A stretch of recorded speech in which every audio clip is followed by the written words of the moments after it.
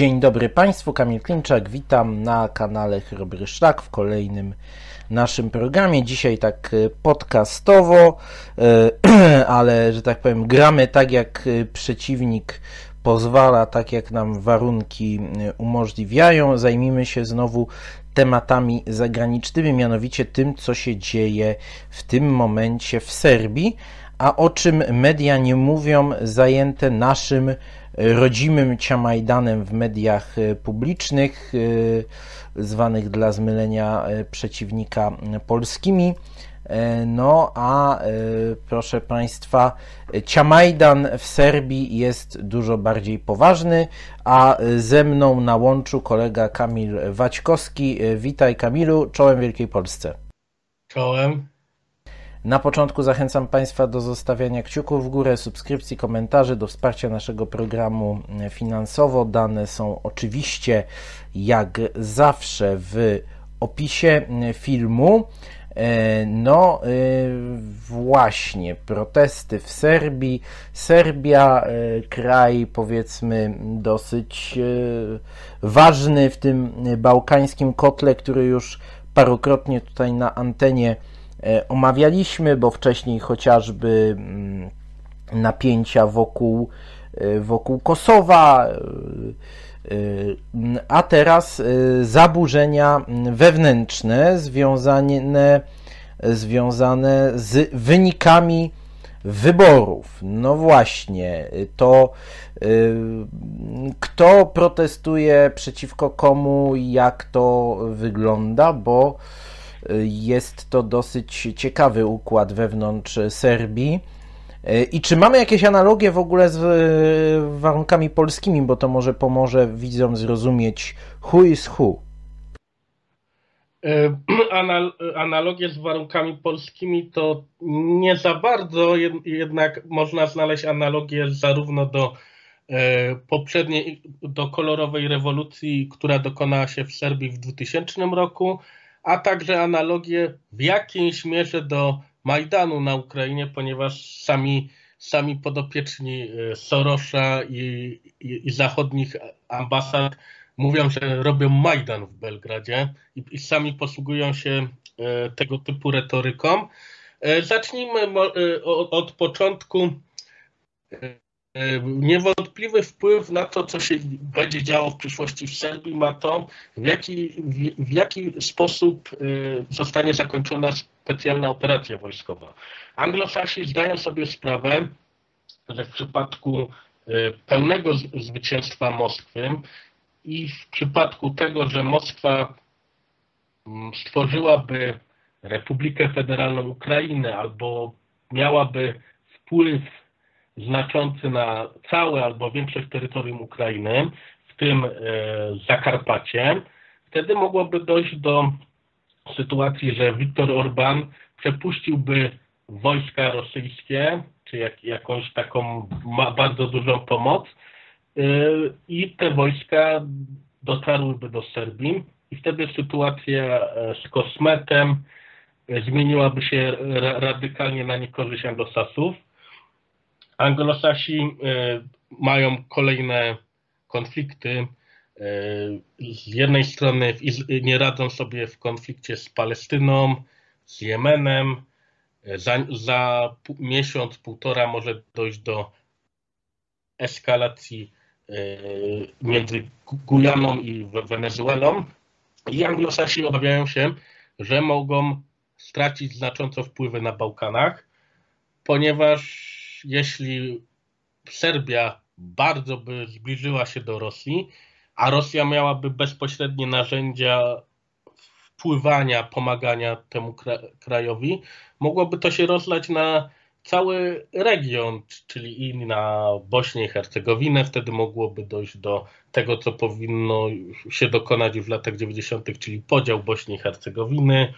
W Bułgarii byłyby silniejsze ugrupowania wielowektorowe i przeciwne e, atlantystom.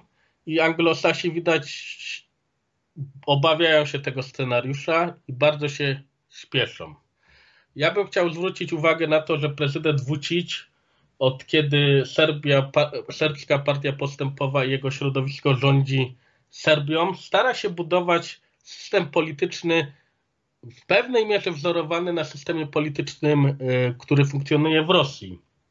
Bo partia Jedna Rosja jest partią e, szeroką. Są tam osoby, które, y, które e, popierają, popierają bardziej wizję Rosji carskiej, y, a są też tacy, którzy odwołują się do bolszewizmu. Tutaj akurat w przypadku jednej Rosji jest lekki przechył w stronę Rosji carskiej. Jednak jest to ugrupowanie bardzo szerokie. Podobnie jest w serbskiej partii postępowej, gdzie są zarówno zwolennicy mocnej współpracy z Federacją Rosyjską, z Chinami, e, z Białorusią, ale są też e, osoby zorientowane na zachód, ale co warto podkreślić, są bardziej e, zorientowane na Zachód, ale w kontekście współpracy gospodarczej z Unią Europejską i z krajami zachodnimi, a nie na e, integrację wojskową, ideologiczną, bo jak warto tutaj przypomnieć, że prezydent Vucic był ministrem e, za czasów Miloszewicza i niewątpliwie jego rodowód polityczny jest y, związany z środowiskami patriotycznymi i narodowymi w Serbii. I podobnie jak y, w Rosji, gdzie jest komunistyczna partia Federacji Rosyjskiej, która jest taką opozycją dosyć mało radykalnie sprzeciwiającą się jednej Rosji. Jednak co, co rodzimi giedroyciowscy propagandziści zapominają, dochodziło do autentycznych e, sporów, czy nawet głodówek kandydatów komunistów w trakcie wyborów lokalnych. Jednak jest to partia, która nawiązuje współpracę w wielu dziedzinach z jedną Rosją. Tak samo jest w Serbii, gdzie jest partia socjalistyczna, która od wielu lat współrządzi serbską partią postępową. Jednak i są też partie, tak jak w jak jest w Rosji partia już nieżyjącego Żirinowskiego, tak w orbicie serbskiej polityki pojawiają się i często wypadają z serbskiego parlamentu grupowania narodowe i konserwatywne. I Vucic y, ta, doprowadził system polityczny w taką stronę, że obniżenie progu wyborczego do 3% powoduje, że bardzo często w parlamencie znajdują się ugrupowania narodowe i wtedy może y, mówić Zachodowi, jeśli mnie nie będziecie, akceptować, to przyjdą e, nacjonaliści, którzy nawiążą ścisłą współpracę z Rosją i z Chinami. Jednak w przeciwieństwie do Rosji, w Serbii y, działają fundacje Sorosza, ambasada e, Stanów Zjednoczonych prężnie działa i różne fundacje, nawet część e, nacjonalistów jest powiązanych z ambasadą amerykańską, jak lider partii Dweri, Bosko Obradowicz. Podobna sytuacja jak w Armenii, gdzie, gdzie Amerykanie finansują i wspierają część ugrupowań nacjonalistycznych.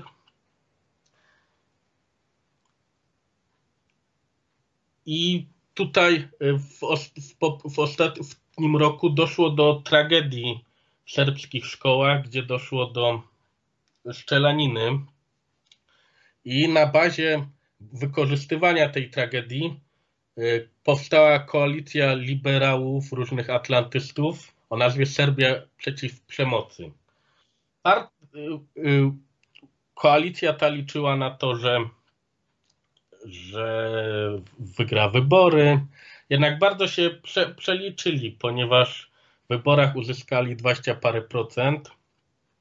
Y, partia Wucicia pra, prawdopodobnie będzie miała nawet samodzielną większość, ewentualnie może sobie dobrać y, socjalistów. Do tego 7 mandatów zdobyli Węgrzy, którzy także ściśle współpracują zarówno w Wojwodinie, jak i na szczeblu lokalnym i centralnym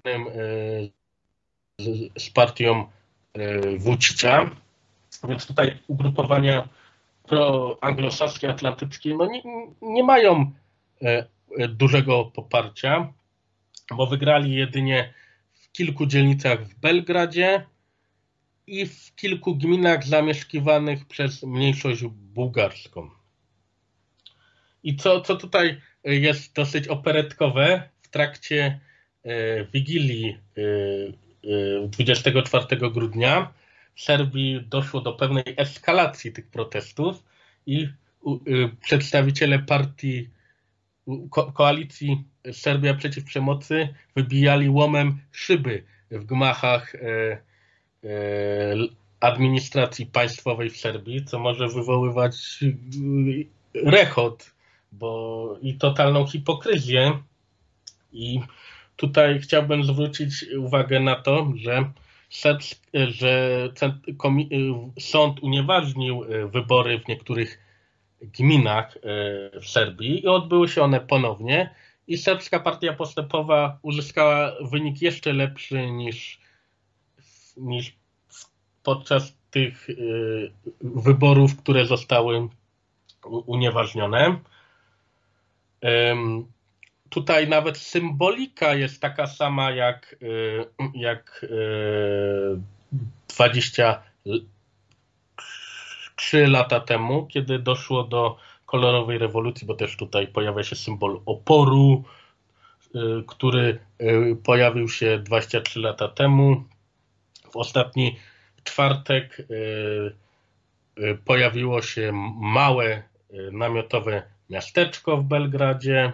Tutaj bardzo bym chciał zwrócić uwagę na hipokryzję polskojęzycznych mediów, które bardzo się cieszyły, jak władze E, kon, e, policja kontrolowana przez rząd Mai Sandu pacyfikowała namiotowe miasteczko w Kiszyniowie. Natomiast tutaj jest wszystko fajnie, cacy. I ty wspomniałeś, że polskojęzyczne media nie wspominają o protestach w, Serbii. A tutaj, tutaj lekko się z tym nie zgodzę, ponieważ w środę był na Pol, Pol, Polsat News był, e, był taki materiał, ale dosyć groteskowy, bo był tam prezydent Vucic, no i oczywiście te takie kalki. Jak ktoś nie jest politykiem na telefon czy na Twittera od anglosasów, to od razu jest prorosyjski marionetką. Do tego w pierwszej wersji tego materiału pokazali rzekomo belgradzkiego przechodnia, który, który brał udział w manifestacji i się tam wypowiadał. Ja od razu poznałem, że to jest były proamerykański prezydent Serbii Boris Tadic. Dopiero jak materiał pojawił się po południu, to już było to poprawione.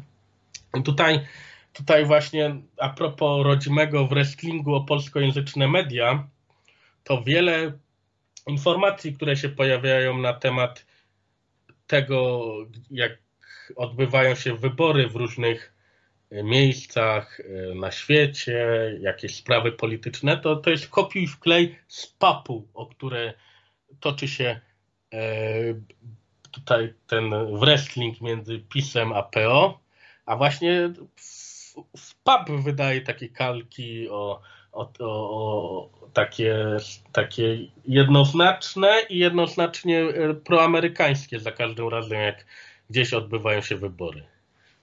Y, no, może media o tym nie mówią, mówię po prostu dlatego, że y, są skupione na tym, co się dzieje w kraju i ten krajowy Ciamajdan jest dużo bardziej wdzięcznym dla nich y, tematem, aczkolwiek, aczkolwiek znalazłem też w niektórych środkach masowego rażenia przekazem. To jeszcze jeszcze mm, y, artykuł z połowy grudnia, znamienny tytuł na y, y, niekoniecznie lubianym przez nas portalu, ale warto czytać co wróg pisze. Wybory wolne, ale niesprawiedliwe. Dlaczego w Serbii znów wygrał Aleksander Vucic? Na portalu Okopres. To jest z datą 19 grudnia. No i właśnie wybory wolne, ale niesprawiedliwe. Pewnie jakby wynik u nas 15 października był inny, to Podobne by były tytuły, jeśli chodzi o, e, o, polskie, o polskie wybory. No i e, również w Sylwestra e, pojawił się taki dość sążnisty artykuł też na Oko Press, że opozycja chce powtórzenia wyborów, tłumy na ulicach Belgradu i że to OBWE wskazuje na nieprawidłowości w procesie wyborczym. Tutaj zacytujmy, że y, wybory były technicznie dobrze zarządzane i oferujące wyborcom wybór alternatyw politycznych, ale były zdominowane przez zdecydowane zaangażowanie prezydenta, co w połączeniu z przewagą systemową partii rządzącej stworzyło niesprawiedliwe warunki. Czyli najlepiej by było, jak rozumiem, według OBWE, żeby Wójcik się najlepiej schował do szafy na okres kampanii wyborczej. I tutaj chciałbym zwrócić uwagę, że dopiero jak e, po dwóch, dwóch dniach Ameryka, Amerykanie e, i Niemcy zaczęli e, marudzić, że wybory zostały sfałszowane i tak dalej, to różni obserwatorzy międzynarodowi, niezale, różne niezależne media ruszyły do ataku na, na początku nikt nie widział żadnych nieprawidłowości. I tutaj chciałbym zwrócić uwagę na totalną hipokryzję Amerykanów, bo z jednej strony ciągle mówią, że, że integralność terytorialna Ukrainy, Żeleński nie może zgodzić się na żadne ustępstwa terytorialne, a z drugiej strony y, y, mówią Serbom, musicie być w Unii Europejskiej, to dla was szansa, cywilizacyjny wzrost i musicie wyrzec się Kosowa, e, żeby należeć do tej organizacji. Tutaj jest totalna hipokryzja Jankesów i, i, po prostu każdy powinien sobie odpowiedzieć na pytanie, e, czym jest tak naprawdę Imperium Dobra. No to w takim razie, jak to się może potoczyć? Czy, y, czy są jakieś siły, które mogą, y, mogą stanowić przeciwwagę dla tej kolorowej rewolucji, nie tylko wewnątrz Serbii, ale, y, ale chodzi mi też o siły zewnętrzne, które mogą, mogą w jakiś sposób przyjść z pomocą tutaj Wuciciowi jakoś go wesprzeć, no bo wiemy, że no Wucić różne rzeczy ma na koncie i y, postawę bardziej niezłomną i postawę trochę bardziej uległą wobec Amerykanów. E, tutaj y, Wuciciowi bez wątpienia pomogli Rosjanie, bo zarówno Wucic, jak i premier Serbii dziękowali e, Rosji za to, że ich wywiad ostrzegł przed planowanymi protestami. Także Chiny popierają Wucicia.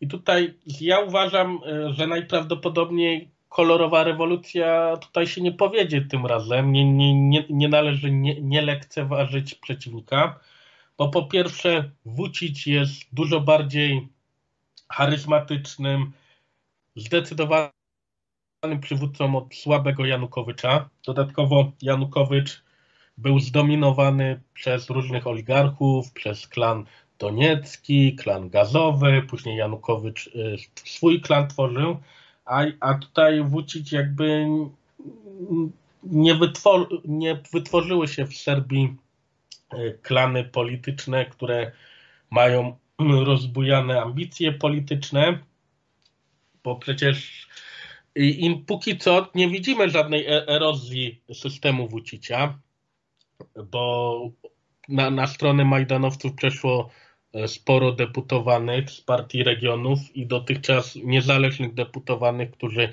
wspierali partię regionów. Podobnie było w trakcie kolorowej rewolucji w Armenii w 2018 roku, gdzie e, część deputowanych partii republikańskiej e, zdradziła prezydenta Sergea Sakisiana i przeszli na stronę Paszyniana, a jakie efekty to przyniosło, to, to widzimy po, po pięciu latach, gdzie, gdzie nie, nie Sulejman wspaniały, nie Lenin, nie Stalin, nie Hitler, a Paszynian doprowadził do tego, że w Arcachu nie ma Ormian. I tutaj w systemie Wucicia nie widać tej erozji na razie. Do tego e, Ukraina była państwem e, bardzo podzielonym na ten południowy wschód i na zachód, a w Serbii nie ma takich e, podziałów, bo jedynie serbska partia postępowa poza kilkoma dzielnicami Belgradu to przegrała tam, gdzie mieszkają Bośniacy, Albańczycy, Węgrzy i częściowo Bułgarzy. I tutaj nie ma e, możliwości, żeby ta, a do tego te mniejszości w mniejszym lub większym stopniu współpracują z Wuciciem. I tutaj nie ma, tak jak na Ukrainie, że, że banderowcy wspierani przez anglosasów mogą e, zająć e, budynki Lwowskiej Rady Obwodowej, uznać, że Janukowicz nie jest prezydentem. Tutaj nie ma w Serbii takich możliwości. Y, no, y, natomiast co będzie oznaczała dla Stanów Zjednoczonych y, ewentualna porażka i w zasadzie no, to, że Belgrad po raz kolejny gdzieś tam zrywa się ze smyczy, czy to już nie będzie no, ostateczny dowód na to, że potęga Stanów Zjednoczonych się sypie?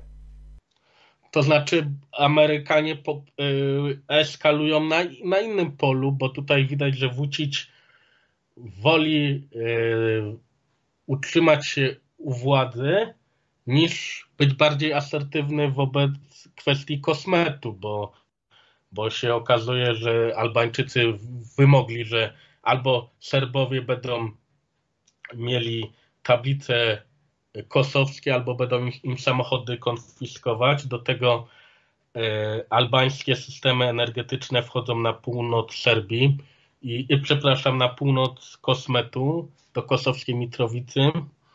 I tak jak wcześniej za infrastrukturę społeczną nadal w północnym Kosmecie odpowiadał rząd w Belgradzie, tak teraz poza służbą zdrowia to już wszystko przejmują Albańczycy. E, terror e, albański trwa, a tutaj nie widać, żeby e, Vucic postawił armię na nogi. Bo na co też tutaj chciałem zwrócić uwagę, to wybory zostaną najprawdopodobniej powtórzone, ale nie w całej Serbii, a wybory do Rady Miasta Belgrad, ponieważ tam jest pad polityczny tak jak pisałem już, do, do parlamentu serbskiego wesz, wesz, weszło ugrupowanie My Głos Ludu, które jest e, narodowe, konserwatywne, przeciwko y, szprycy na jedynie słuszną chorobę. I ono też weszło do Rady Miasta Belgradu i bez, i bez głosów tego ugrupowania nie jest możliwe utworzenie koalicji rządowej a liderzy tego ugrupowania wystosowali postulaty do prezydenta Vucicia, w którym domagają się rezygnacji z porozumień brukselskich i cała ta e, polityka wobec kosmetu po spełnieniu tych żądań e, głosu Vucicia zostałaby wywrócona do góry nogami ale co warto podkreślenia, głos e, sprzeciwia się e, kolorowej rewolucji i apeluje te, też, że jeśli sytuacja będzie się e, eskalować, to też swoich sympatyków w obronie państwa wy, wyprowadzi to ugrupowanie na ulicę. I Dwucic też ma pewną przewagę taką, że mm, mimo, że E, na stadionach e, w Belgradzie kibice Partizana i Zvezdy czasem razem pozdrawiali Wucicia okrzykami o Śmiszku i Biedronie, Biedroniu, to tutaj jednak Wucic ma pewne możliwości wpływu na te grupy i te grupy w ostateczności mogłyby zrobić porządek z tymi libera, liber, liberalną piątą kolumną, stypendystami, student, I tak jak wspominałem wcześniej, uważam, że najprawdopodobniej kolorowa rewolucja tym razem się nie powiedzie. No to chyba dobrze dla Serbów. Może już powoli podchodząc do e, lądowania, może jeszcze jeden kierunek, jeśli chodzi o politykę serbską. No, Serbia a Unia Europejska to w końcu też jak to może na te relacje wpłynąć? No wiemy, że większość krajów bałkańskich już śladem Słowenii i Chorwacji no, przebiera nogami do Unii Europejskiej, mniej lub bardziej mm, oficjalnie, mniej lub bardziej szczerze, y, mm, a na ile jest to y, realnie cel dla Wucicia i czy no, no wiemy, że raczej, y, raczej ten wynik wyborczy go raczej oddala od Unii Europejskiej niż przybliża. No, chyba Serbom raczej powinniśmy życzyć, żeby się nie znaleźli w Eurokołchozie. No ale właśnie, czy tu też Bruksela nie będzie miała czegoś do powiedzenia?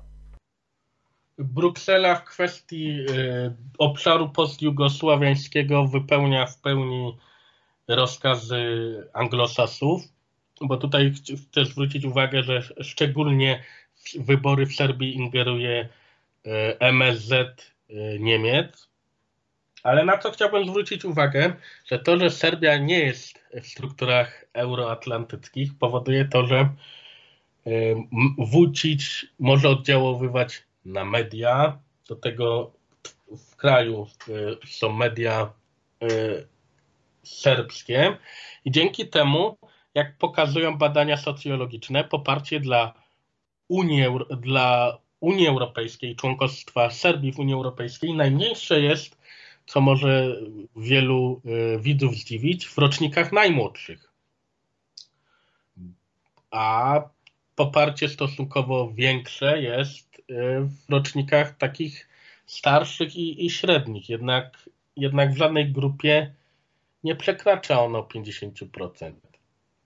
Tutaj widzimy, jak ważne jest zachowanie y, możliwości przekazu y, patriotycznego, suwerennego, bo dzięki temu lud, ludność nie jest ogłupiana, ogłupiana yy, propagandą unijną, zachodnią, gdzie, gdzie jacyś, jacyś jakie, jakieś osoby koło pięćdziesiątki, zwłaszcza to, takie panie z klasy średniej, yy, jak, jak będzie w Polsce rządzić prawica, to nas wyrzucą z Unii Europejskiej, z Europy i co będzie teraz. I, i, i serbskie społeczeństwo nie jest tak ogłupiane. Do tego wielu Serbów też wyjechało na zachód za pracą i widzą, jaki ten e, zachód jest. I, I ludzie wyciągają wnioski. Podobnie jest przecież, e, dlaczego Łukaszenko się utrzymał e, u władzy, to nie tylko dlatego, że prowadzi rozsądną politykę, ale także ludzie widzieli, co, co do, co, do czego doprowadziła polityka Balcerowicza, e, Belki, Buzka w Polsce, a, a do, i do czego doprowadził Majdan na Ukrainie. Zdają sobie sprawę z tego, że gdyby u nich e, zwyciężyły opcje prozachodnie, to byłoby to samo, a nawet jeszcze gorzej. I, I oczywiście prezydent Vucic nie będzie mówił, na pewno nie wejdziemy do Unii Europejskiej i tak dalej, ale będzie to trochę tak, że Vucic będzie gonił króliczka, żeby go nie złapać. No to tak się właśnie domyślałem. To myślę, że na razie zakończymy. Czekamy, jak się zakończy ten Ciamajdan no na pewno, e, no myślę, że tak jak ten nasz polski może się skończyć e, Anno Domini 2016, który był krótkotrwałą ruchawką.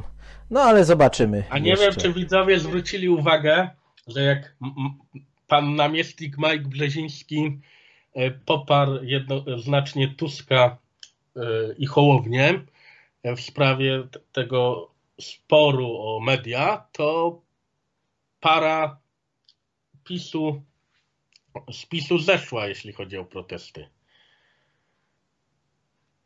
No tak, oni wierzyli w interwencję, cudowną interwencję ambasady amerykańskiej, niczym, prawda, jakieś cuda domu brandenburskiego za czasów Fryderyka Wielkiego.